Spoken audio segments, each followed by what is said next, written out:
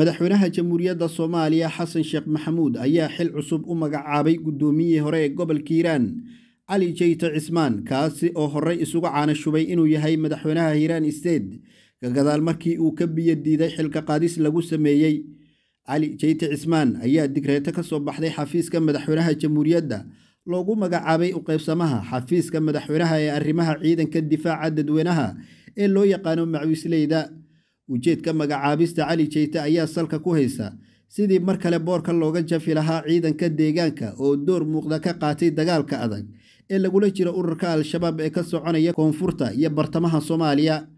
Cali jeyte ayaa lagu xasuustaa hogaaminta gulufkii cuslaa ee dagaalka ka dhanka kooxda al-shabaab ka bilaabay gobolka hiiraan iyadoo inta badan laga saaray al-shabaab deegaanadii iyo degmooyinkii ay kaga sugnaayeen gobolka hiiraan.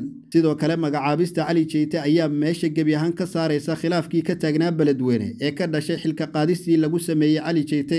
Horaan madaxweyne xasan sheekh maxamuud iyo cali jeyte ayaa ugu kulmay degmada maxaas halkaasi oo lagu gaaray heshiis dhex maray dowladda iyo beesha uu ka soo jeedo cali jeyte cismaan ee dagaalka kula jira ururka al-shabaab. Si kastaba ha ahaatee hogaaminta cali jeyte ciidamada macuusleeda ayaa loo arkaa mid muhiim ah sidii loo dhaqaajin lahaa dagaalka al-shabaab maadaama wejigiisii koowaad uu u babac dhigay awoodda dadka deegaanka taasi oo ku timid in deegaano dhowra oo gobolka hiiraan ka tirsan al-shabaab laga saaro. Soomaaliya waxaa ka socda dagaal culus oo lagula jiro ururka al-shabaab kaasi oo ka soconaya koonfurta iyo bartamaha soomaaliya iyadoo ciidamada dowladdu garab ay ka helayaan dadka deegaanka.